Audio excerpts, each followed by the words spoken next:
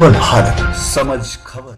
खबर यूपी के प्रतापगढ़ ज़िले से है जहाँ प्रतापगढ़ में कड़ी सुरक्षा व्यवस्था के बीच शुरू हुआ सुबह आठ बजे से स्थानीय प्राधिकारी क्षेत्र का चुनाव। बता दें कि तस्वीरें प्रतापगढ़ के जिला पंचायत सभागार के हैं जहाँ चुनाव प्रक्रिया को देखते हुए एडीएम समेत प्रशासनिक अमला लगातार मतदान केंद्रों पर पहुँच रहे हैं और सुरक्षा व्यवस्था समेत अन्य चीज़ों की जानकारी ले रहे हैं। बता दें कि प्रतापगढ़ ज़िले में कुल 18 मतदान केंद्र बनाए गए हैं और 2815 मतदाता ऐसे हैं जो अपने मताधिकार का आज प्रयोग करेंगे और अपना एमएलसी चुनेंगे। वहीं प्रतापगढ़ के जिला पंचायत बूथ पर मतदान करने के लिए पहुँचे सदर विधायक राजेंद्र प्रसाद मौर्य ने अपने पार्टी की जीत का दावा किया है। उनका कहना है कि भारतीय जनता पार्टी ने जो प्रत्याशी उतारा है, वह सबसे सरल और शिक्षित व्यक्ति है और लगातार क्षेत्र में रहकर लोगों की सेवा करता आया है। ऐसे में भारतीय जनता पार्टी पर लोगों का विश्वास है और इसी विश्वास के चलते एक बार फिर से भारतीय जनता पार्टी इस एमएलसी चुनाव में अपना परचम लहराने जा रही है और भाजपा की ही जीत होगी। बता दें कि राजा भैया की पार्टी जनसत्ता दल लोकतांत्रिक से, अक्षय प्रताप सिंह तो वहीं समाजवादी पार्टी से, विजय बहादुर यादव भी चुनाव मैदान में हैं। सभी पार्टियों के पदाधिकारी अपने अपने प्रत्याशियों को जिताने के लिए कमर कसे हुए हैं।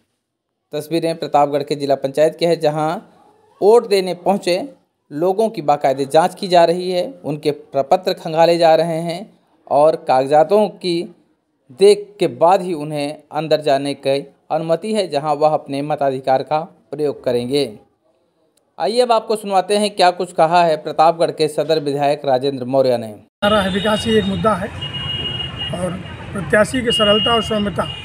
उसको हमने अभी कहा। वो हमारा एक मुद्दा भी है। जो सहज हो हमारे जनप्रतिनिधि अपनी बातों को अच्छे से कह सके विकास के मुद्दे पर वो हमारी मदद करे। क्योंकि मैं भी उसमें रहूँगा। एमएलसी पूरे ज़िले के हैं। एमएलसी सीट पे जो है राजा भैया का काफ़ी दिनों से कब्जा रहा है। कैसे किला ध्वस्त कर लिया? या प्रेम और विश्वास से ध्वस्त होगा। ध्वस्त नहीं करना उनका विश्वास हासिल हासिल करना है। और पहली बार भारतीय जनता पार्टी ने एक ऐसा कर्मठ प्रत्याशी प्रतिनिधियों के बीच में लाया। तो निश्चित रूप से अपार जन समर्थन उनको मिल रहा है। पार्टी की नीति और विकास पर सारे प्रतिनिधि एक हैं।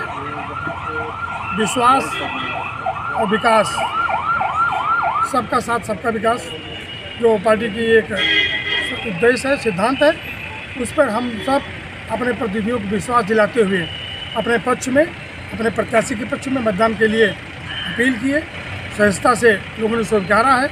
आने वाला 12 तारीख 12 अप्रैल को आप सबको मीडिया बंधुओं को यह जानकारी मिलेगी।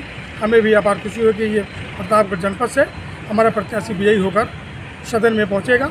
माननीय योगी जी और मोदी जी के विकास की ओर एजेंडे को सतत आगे बढ़ाएगा। यही हमारी कामना है, हमारा ये संकल्प है। कितनी सीटें मिलेंगे बीजेपी को तीन सीटों में हमने सबको पे जो भी है लक्ष्य तो पूरा जीतने का है, जिससे हमारे विधान परिषद में बहुमत हो सके। जो भी संशोधन, जो भी बिल विधानसभा से पास हो, वो आराम से वहाँ भी सहज करतल ध्वन से पास हो। इसी कामना के साथ हम लोग अधिक से अधिक, कम से कम बत्तीस से चौंतीस सीटें जीत कर अपने इस बाबा जी के मिशन को विपक्षी दल एक आरोप भी लगा रहे हैं कि जो है अपने सरकारी मशीनरी का प्रयोग कर रहे हैं, पैसे भी बांटे जा रहे हैं और दबाव भी बनाया जा रहा है पंचायत प्रतिनिधियों पर। ये उनकी भ्रांतियाँ हैं, निराशापन है, ऐसा उनके मुख से शोभा नहीं देता है। हम उस दल के सिपाही हैं, जहाँ भय और आतंक का कोई कोई स्थान नहीं है। हम लोग प्रेम और सरलता, अपने जनमानस को जिस तरह हम लोग, अपने जनता के बीच में भी ये भी गए थे, जनमानस के बीच में गए थे उनका आशीर्वाद लेकर के सदन में, उनके आशीर्वाद से सदन में पहुँचा। उसी भाव के साथ, हमारा भी प्रत्याशी वैसे ही मृदुल और सरल है। जन जन उनके साथ मैंने पूरे ज़िले में, हर विधानसभा में गया हूँ कैंपेनिंग की हूँ, सभाएँ की हैं और लोगों के दरवाजे पे मिला हूँ, व्यक्तिगत अकेले जाके मिला हूँ। सबने अपार मिला हूँ, व्यक्तिगत अकेले जाके मिला हूँ। सबने अपार खुशी जताई और अपनी इच्छा जताई। हो सकता कहीं संकोच हो, मैं मानता हूँ कहीं क्षेत्रों में है संकोच माननीय जी का कि वो खुल का हमारे साथ नहीं आ सकते हैं। मैं उनका भी सम्मान करता हूँ। उन प्रतिनिधियों का हृदय से सम्मान करता हूँ।